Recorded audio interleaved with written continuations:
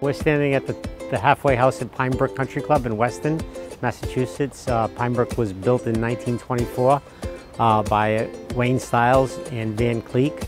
They have some similarities to Donald Ross courses and then they have a lot of uniqueness too that's their own. Yeah, we have a couple of unique things. First, we have an aqueduct that runs through the property on the north side of the property. Uh, and it is the old um, aqueduct that fed the city of Boston its water from the Quabbin Reservoir. Um, in the 60s, they built a new one, which is now on the other side of the Mass Pike. Uh, but it's still there, it's still active if they want it to be. They still maintain it. And uh, it is a public right-of-way through the golf course so that they can maintain the sides of it where it's exposed. There's one spot that we're allowed to mow the sides of, the rest of it we're not allowed to touch. It's so steep that when you try to mow it, you end up eroding. Just keep trying to reseed it.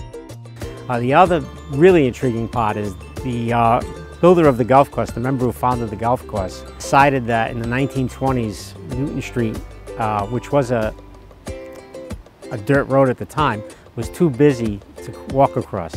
And he built a walking tunnel under the road. The walking tunnel is exactly the size of one golf cart.